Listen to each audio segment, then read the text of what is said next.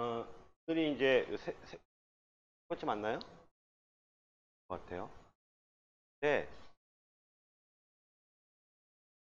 이 일기 때 제가 강의를 할 때는 실제 사진 찍는 실습을 했었어요. 했었는데 그때 강의실이 여기가 아니고 이제 2층 컴퓨터실이었어요. 네. 사실 여기는 사진 찍는 게 좀 문제가 좀 돼요. 왜냐 장비가 아무것도 없다 보니까 실제 상품 사진을 찍는 상황을 연출이 안 되다 어쩔 수 없이 사실은 사진 찍는 게 전혀 도움이 안 돼서 이론적인 내용들만 말씀드리는데 참고로 다 말씀을 좀 드리자면 여러분들이 상품 사진을 찍으려고 한다면 직접 찍어서 올리셔야 되는 상황이라고 한다면 어, 준비하셔야 될 것들은 좀 있어요. 뭐냐면 배경지 같은 거 흰색이든 뭐 검정색이든 배경 조명이 있어야 되고 사진은 사실 스마트폰으로 찍어도 충분하거든요. 사진 자체는 스마트폰으로 찍어도 문제가 안 되는데 그 이외에 다른 부분들을 이제 좀 신경 쓰셔야 될 분들이 있다는 말씀 좀 드렸고요. 그래서 그런 것들은 나중에 그 제가 제가 지금 갖고 있는 제품들을 나중에 기회가 되면 갖고 보통 조명 같은 경우에는 바- 발품을 팔아서는 해결이 안 되고 클릭하기 위해서 손품을 팔아야 되겠죠. 알리익스프레스나 그 국내에서 사는 거하고 외국에서 사는 게 차이가 좀 많이 나는데 제가 말씀드렸는지 모르겠는데 요 제가 지금 쓰고 있는 요 마이크 이게 이제 그 무선 마이크거든요. 연결돼서 말하면 여기로 들어가서 이제 지금 라이브가 지금 나가고 있는 건데 요 마이크가 벌써. 재작년 12월 때 이거 국내에서 살려고 그랬더니 되게 조그매요. 그래서 어쨌든 보기에는 얼마밖에 안 한 게 국내 판매 가격이 7만원, 8만원 그렇더라고요. 조금 더 검색해 5, 6만원 이상을 하 알리익스프레스에서 검색을 했더니 2만 5천원 더구나 놀랍게도 금액에 배송비가 포함이 안 돼 있는 거예요. 그러니까 배송이 무료예요. 중국에서 여기로. 천 원짜리 물건을 사도 알리에서 사면 상당수가 배송비 무료인 경우도 많아요. 천 원짜리, 그러니까 되게 재밌는 게 제 쇼핑몰에서 판매하는 천 원짜리 물건을 누가 사면 3,500원을 내야 돼요. 배송비 포함해서. 근데 알리익스프레스를 하게 되면 천 원만 내면 돼요. 그럼 집 옆에까지 와요. 다만 시간이 오래 걸리죠. 저도 한 달 정도 걸려서 받았는데 어쨌든 간에 이제 그런 식으로다가 좀 약간 시간 여유를 좀 가지고 준비하시면 생각보다 비용 저렴하게 하시니까 그런 장비 들어가는 내용들은 나중에 다시 한번 이제 뭐 자료를 좀 보여드리던 제가 가중해서 받아 보여드릴게요. 어, 여러분들이 이제 판매하는 상품이 있다라고 가정을 다만 여기에서 보는 거는 작은 소품 위주예요. 큰 상품 같은 경우에는 조금 달라요. 왜냐하면 뒤에 이제 나중에 샘플 좀 보여드릴 게 좀 있어. 그거 좀 보시면 알겠지만 큰 상품은 아무래도 촬영하는 그 페이지 세팅하는 것좀 어쨌든 기본적으로 알아두실 건 이겁니다. 조명은 무조건 밝아야 돼요. 지금 이 사진을 보시면 이게 이제 뭐냐면 저희 어머니가 쓰신 그 스템이거든요. 건데 그냥 재밌어서 사진을 한번 찍어봤는데 요거 준비하면서 아 이 사진 괜찮겠다 싶어 갖고 왔어요. 지금 보시면 자세히 보시면 이렇게 그림자 진 거 보이시죠? 이쪽에 그림자 보이세요? 예. 살짝 져 있어요. 그런데 이쪽에만 있는 게 아니고 이쪽에도 그림자가 있어요. 조명을 두 군데서 이렇게 때린 거예요. 기본적으로 음, 여러분 혹시 길거리 다니다가 왜 간혹 가다 보면 그 방송 촬영하는 거 왜 볼 때 있어요. 그때 보면 어떠냐면 조명을 되게 밝은 걸 하나를 딱 때리고요. 그 사람 뒤쪽에 사람 서가지고 이렇게 알루미늄 반사판 물 있잖아요. 그게 뭐냐면 어 보통 이제 정면에서 찍히는 조명만 있잖아요. 뭐 어떤 문제가 생기느냐. 제가 여기로 서 있어요. 여기서 누가 조명을 딱 때려서 사진 찍으면요. 어떤 느낌이 드냐면 제가 여기에 박혀 있는 것처럼 보여요. 경계선 구분이 안 돼가지고. 그래서 이 반사판을 놓는 이유는 뭐냐면 내 이 몸의 경계선 부분에 대해서 약 살짝 역광을 좀 줘가지고 불을 이렇게 분리시켜 놓는 하는 거거든요. 근데 이제 사실 이런 작은 소품 같은 게 그렇게까지 하기는 그렇고 보통 어떻게 하느냐면 조명을 두 개를 쓰는 경우도 좀 많이 좀 있고요. 아니면 이렇게 넓게 확산되는 광을 한 개 쓰게 되는 경우도 하겠죠. 어쨌든 가능한 한 조명은 무조건 밝은 게 좋습니다. 뭐 특별하게 연출을 위해서 부분적으로 다 좀 어둡게 한다든지 이런 것들이 기본적으로 밝아야 되고요. 그 다음에 가장 많이 사람들이 실수라는 게 바로 이 부분에 흔들리는 거. 요즘에 카메라들이 워낙에 좋아서 특히 스마트폰 카메라들은 워낙에 편하게 만들어 있어서 흔들리게 찍는 것도 쉽지 않은 세상이 돼버리긴 했지만 그럼에도 불구하고 여기서 말하는 흔들리지 않는다라고 하는 건 어떤 의미인 거냐면 실제로 흔들리는 것까지도 포함이 되지만 정확하게 그 초점이 맞춰져서 선명하게 찍히는 문제예요. 그러니까 사람을 찍었을 때 속눈썹, 눈썹 한 올 한 올 다 들여다 보이니까 이게 뿌옇게 보이냐 생각하셔야 될것 같아요. 그 다음에 제품은 가능한 한 전 가운데 위치시키는 이유가 뭐냐면요. 가운데 위치해 있는 경우에 필요에 경우에 따라서 이런 식으로 다 자른다든지 해서 구도를 바꿔주는 건 문제가 안 돼요. 근데 애초에 사진 자체가 한쪽으로 쏠려 있으면 구도 맞춰주기가 힘들고 구경 문제 때문에 또 하나의 문제가 뭐냐면 알게 모르게 한쪽 방향으로 다 쏠려서 찍으면요 사진이 살짝 그 방향에서 왜곡이 돼요. 무슨 얘기냐면 여러분도 그런 거 보신 적 있으시죠? 왜 여행지에서 사진 찍은 거 보면 광각, 광각으로 찍은 거 보면 주변 부위가 이렇게 둥그스름하게 왜곡되는 경우도 본적 있어요. 근데 그게 큰 차이는 나지 않아도 이렇게 일반적인 카메라에다 찍어도 주변 부위가 살짝 왜곡이 좀 나는 경우도. 그런 경우에는 가운데 놨을 경우에 문제가 되지 않지만 그렇게 흉해 놓은 사진을 이런저런 필요에 의해서 편집하는 과정에서 가운데로 가지고 오게 되면 되게 어색해 보이는 사태가 벌어질 수 있어서 요 세 개만 염두에 두시면 약간 어 일단 그런 거죠. 집에서 만약에 찍었는데 아무것도 없어. 그러면 집에서 가장 밝은 곳을 일단 찾아가야 되겠죠. 어디가 제일 밝은 줄 아세요? 제일 밝은 곳. 사시는 집에서 제일 밝은 곳이 어디예요? 주방이요? 또? 네? 어디요? 거실이요? 화장실입니다. 화장실. 화장실은 왜 그러냐면 작죠. 작은데 조명이 일단 큼지막한 조명이 하나가 있고요. 대부분의 화장실은 큰 거울이 있죠. 그 다음에 벽이랑 바닥이 뭐죠? 타일이죠. 빛이 막 반사가 돼요. 서로 서로. 그래서 대체로 보면 집에서 화장실이 이, 제일 밝고요. 그 다음에 또 하나 재밌는 건 뭐냐면 화장실은 특별한 경우가 아니면 조명이 이렇게 밝은 형광 조명이 아니고 알전구 조명이잖아요. 그 주황색이라고 말하는 약간 불구스름한 느낌이 나요. 별등 느낌이 나요. 그래서 사진을 찍어 놓으면 되게 따뜻한 느낌이 난대요. 근데 그 화장실에 이렇게 이제 그 백열등 조명을 놓는 이유가 그거랍니다. 이런 형광등 조명 약간 파르스름한 느낌이 나고요. 그 다음에 백열등은 약간 불그스름한 느낌이 나잖아요. 근데 형광등 불빛이 약간 춥다고 느낀대요, 사람이. 그래서 화장실, 샤워를 하는 공간에 이 형광등 조명이 있으면 보일러 물 온도가 높아진다고 그러더라고요. 또 음식 사진 같은 경우에는 당연히 형광등 밑에서 찍으면 맛이 없게 보여요. 그래서 고급 식당을 가면 기사 식당은 형광등이고요. 갑자기 말하자면 고급 레스토랑은 다 붉은 조명, 그러니까 빨간 조명이라는 얘기가 아니라 그 백열등 같은 그런 느낌의 조명을 써요. 그래서 그래요. 그러니까 그 얘기 이제 뭐냐면 이거죠. 이상하게 요즘 들어서 가족들이 그래서 밥을 잘 안 먹어. 그러면 형- 이 식탁 위에 조명이 뭔지부터 확인 한번 해보세요. 그래서 어쨌든 그럼 이제 여러분이 집에서 찍으려고 한다면 화장실로 물건을 가지고 가서 세면대 위에다가 이렇게 판때기 하나 올려놓고 어? 그럼 이제 밝으면 사실은 조명이 아주 밝으면요 어지간해서는 흔들리진 않아요. 어, 어두우면 조명이 어두우면 어두울수록 흔들릴 가능성이 높아요. 이유가 뭐냐면 어두우면 셔터 스피드가 느려지거든요. 찰칵 이렇게 찍히는 거고요. 밝으면 빛이 많이 들어오기 때문에 착 하고 찍혀요. 그러니까 내가 흔들릴 가능성이 되게 적어지는 거고 그런 다음에 가운데다가 놓고 화면에 형 가운데다 놓고 찍으시면 특별한 문제가 이제 실패하지 의미가 됩니다.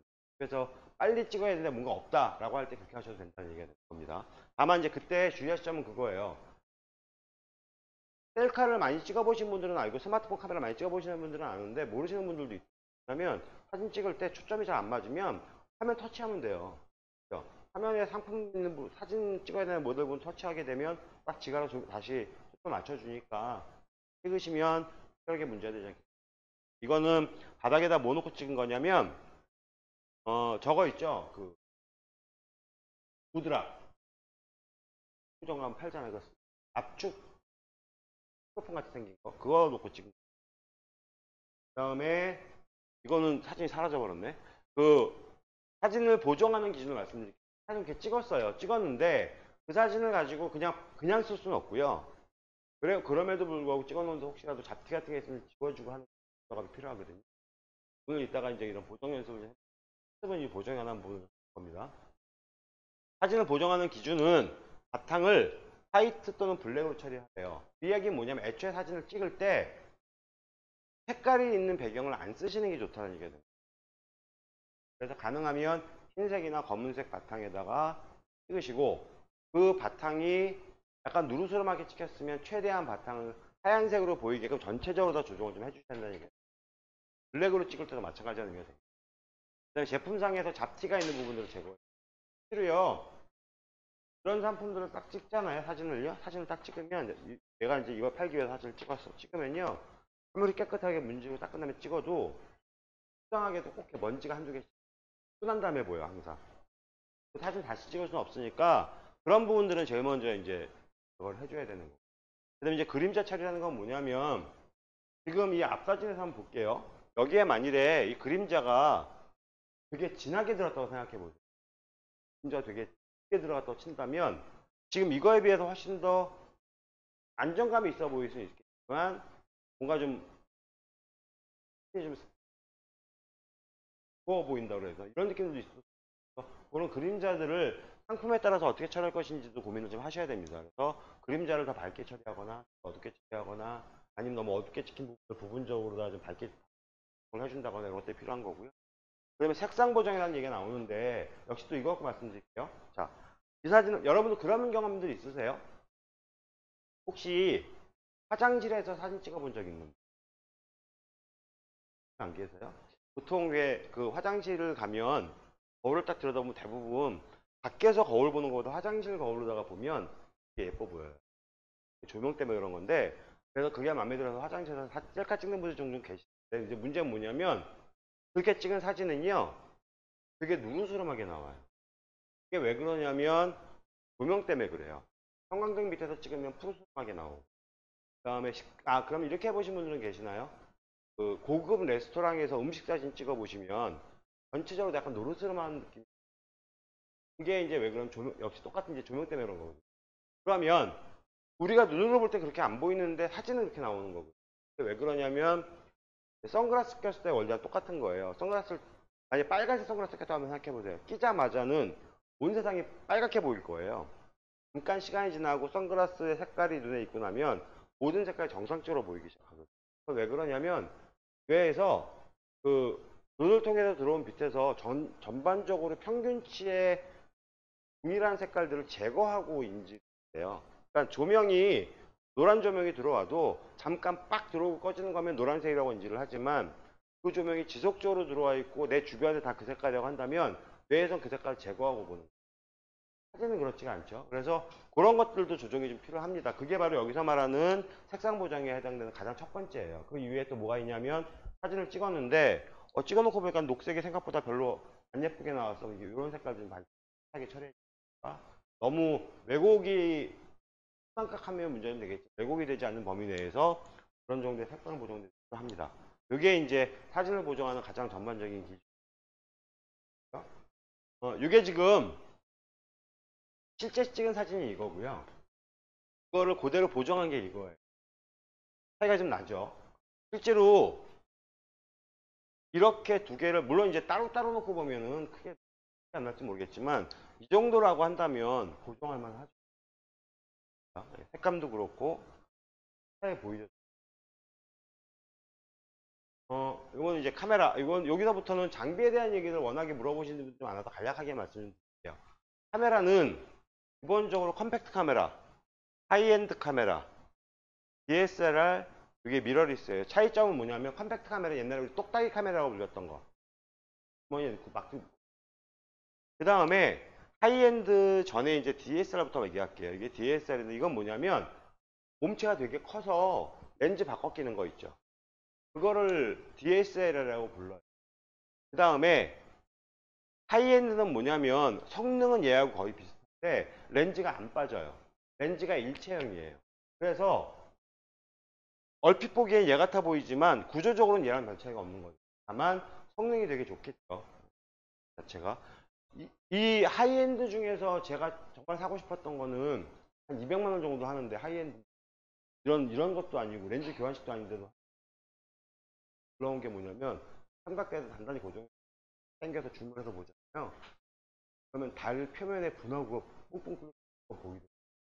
아 이거 좋다 한 대 사고 싶다 그랬는데 그돈 쓰긴 너무 아까워서 안 사고 말았어요. 자, 미러리스는 뭐냐면 기본적인 구조는 얘랑 똑같아요. 그런데 그래서 얘도 얘- 렌즈가 바, 렌즈를 바꿔 낄 수 있는 겁니다. 근데 차이점은 뭐냐면 얘만큼 몸체가 크지 않아요. 차이점을 말씀 좀 드릴게요. DSLR은요 사진을 찍을 때 여러분들이 전문가용 카메라라고 말하는 것들은 셔터 소리 되게 크게 나죠. 촥 나죠. 이게 왜 그러냐면 카메라에서 렌즈를 딱 빼고 몸체를 보면요 45도로 기울어져 있는 유리가 보여요. 거울이에요. 그래서 어떻게 되냐면 이렇게 45도로 기울어져 있으면 렌즈를 통해서 빛이 들어와서 잠망경처럼 위로 올라갔다가 위에 있는 프리즘에 부딪혀서 뷰파인더라고 그러죠. 그 안으로다가 보게 되는 거거든요. 그랬다가 셔터를 누르면 얘가 위로 올라가서 붙으면서 위에 찍히는. 여기서 눈으로 보고 있던 거를 셔터를 누르는 순간은 사실은 잠깐 눈에 안 보이는 거죠. 아, 막아버리고 그걸 이제 뒤에 감광면에다 찍히는 그런 방식인 거거든요. 근데 이제 그러다 보니까 앞에 렌즈를 무엇, 무엇을 바꿔 끼우든 그 렌즈에서 받아들이는 빛을 그- 다양한 샷을 찍을 수 있는데 문제는 뭐냐면 너무 크잖아요. 그러니까 그래서 이 이거를 45도로 기울어져 있는 유리를 제거를 하게 되면 그만큼 부피가 작아지겠죠. 그래서 만들어진 그렇게 해서 만들어진 게 이거고 그래서 이름이 미러리스 거울이 없다는 의미. 이렇게 네 개 정도가 있고 여기엔 제가 일부러 스마트폰을 안 적어놨고요. 그 다음에 음 뭐 이제 유튜브 하시는 분들 같은 경우 분들이 보는 카메라 좀 다를 그다음에 일단 기본적으로 카메라 종류 이렇습니다. 그 다음에 혹시 여러분 중에 여기에 있는 것들 중 여기에 있는 유의 카메라 갖고 계신 분 계신가요? 계신 분이 어떤 거 갖고 계세요? 뭐, 어디 건데요? 보통 DSLR 갖고 계신 분 10명, 10명 중에 한 6, 7명은 캐논 갖고 계시는 거예요. 저는 니콘 갖고 있다가 삼성 거 쓰다가 삭스 거 쓰다가 최근에는 다 팔아치우고 미러리스 한대 달랑 갖고 있는데 어, 사실은 찍어놓은 사진을 보면 이거로 다 찍은 거나 여러분 스마트폰으로 찍거나 사진 자체만 놓고 보면 안 돼요. 그렇기 때문에 굳이 이거 안 사셔도 돼요. 갖고 있는 분들은 최대한 활용하시는 게 좋고 그러면은 이제 왜 그럼 얘네들을 쓰느냐? 어, 스마트폰으로 찍을 수 없는 구도나 스마트폰으로 찍을 수 없는 각도나 이런 것들 화각이나 그런 것들에 대한 사진을 찍을 수 스마트폰으로다가는 간단하게 말하자면 아까 제가 이런 하이엔드 중에서 좋은 거는 쭉 줌 당기면은 발표면도 찍을 수 있다 그랬잖아요. 스마트폰은 그거 불가능하거든요. 용도에 따라서라고 생각하시면 그다음에 여기서는 요것만 말씀 좀 드리겠고요. 그 다음에 지금 갖고 계신 스마트폰은 충분히 당연히 가능하고 여기엔 제가 안 적어놨습니다만 조명 같은 경우에도 마찬가지예요. 당장 급하게 조명을 하실 필요는 없고요. 집에 뭐가 있으실 것 같으냐면 저거 있으시죠? 그 책상 위에 놓이는 스탠드. 요즘에 LED 스탠드 많이 쓰잖아요. 그거 한 두 개만 있으면 돼요.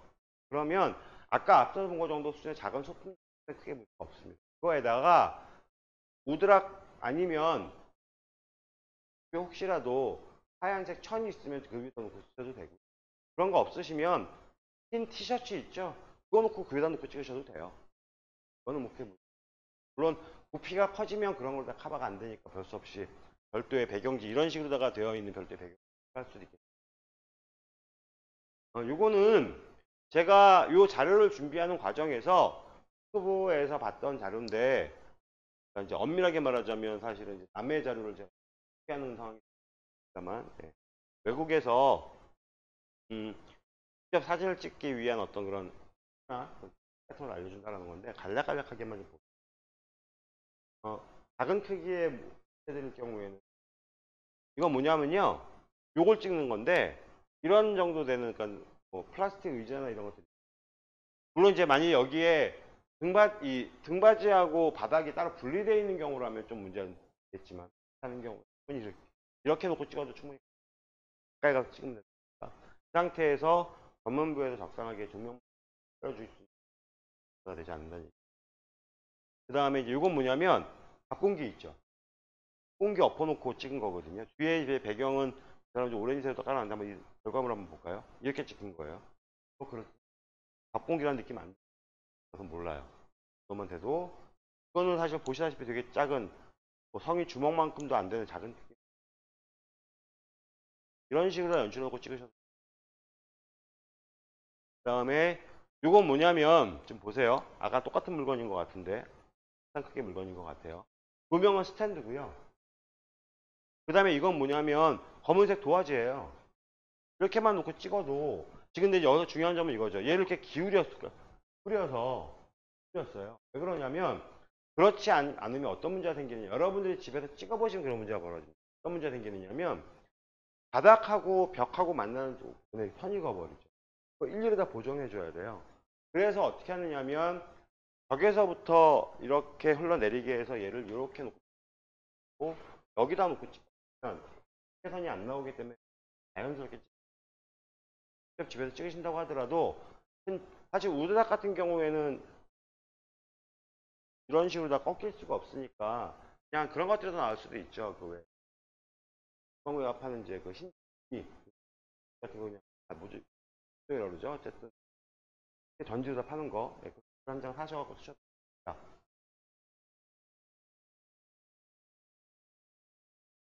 그렇게 해서 찍은 게 이거예요. 물론 고정은 한 겁니다.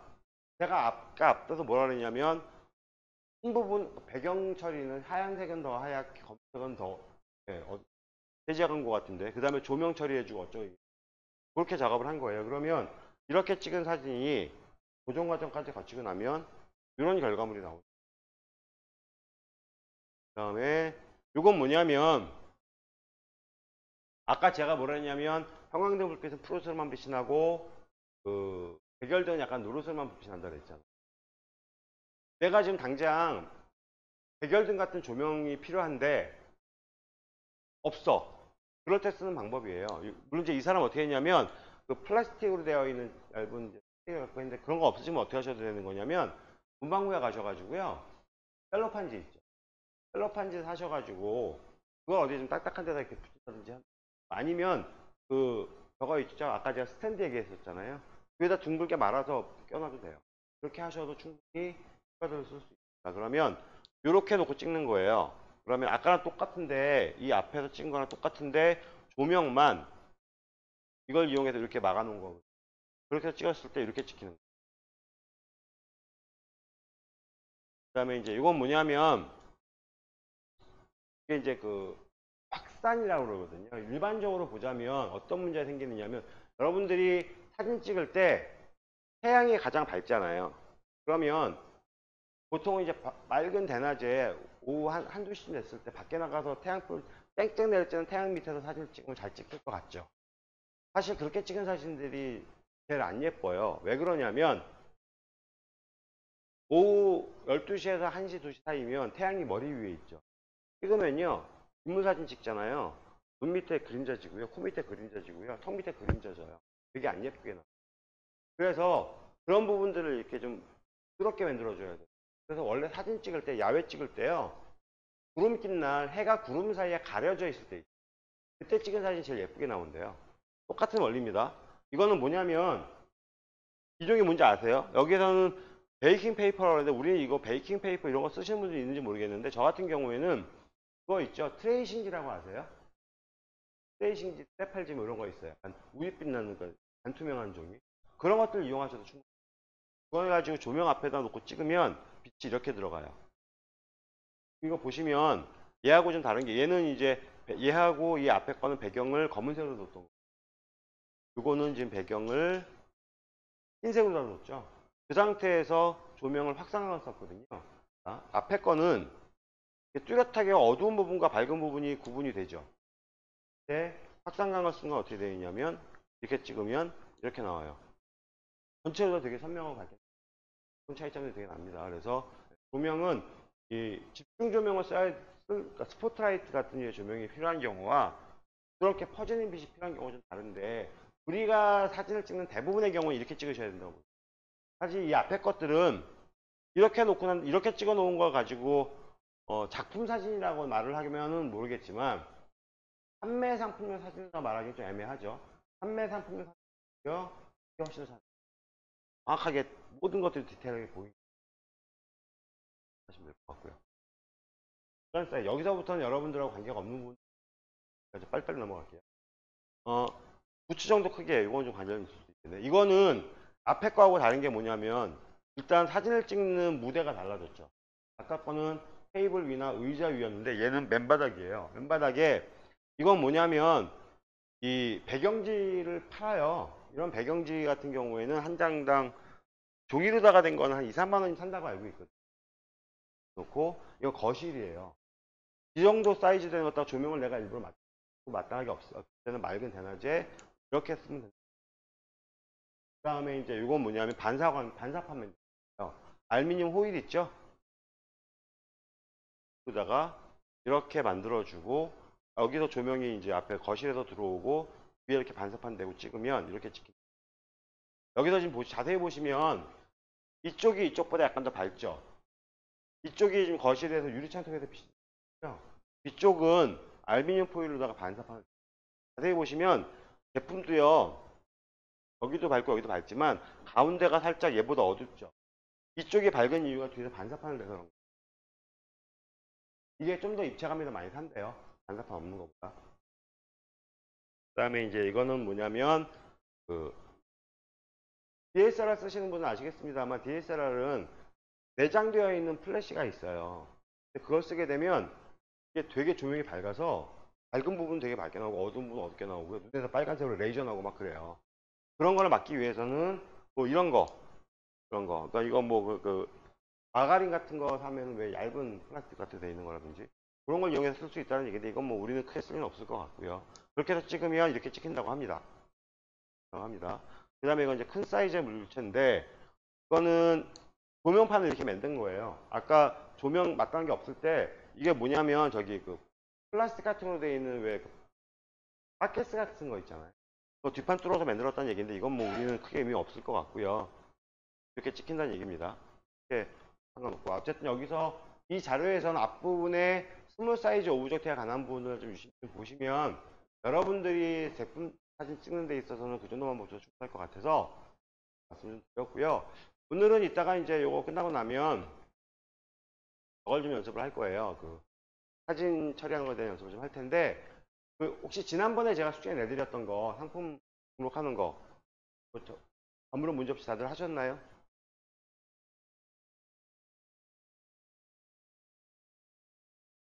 예, 예.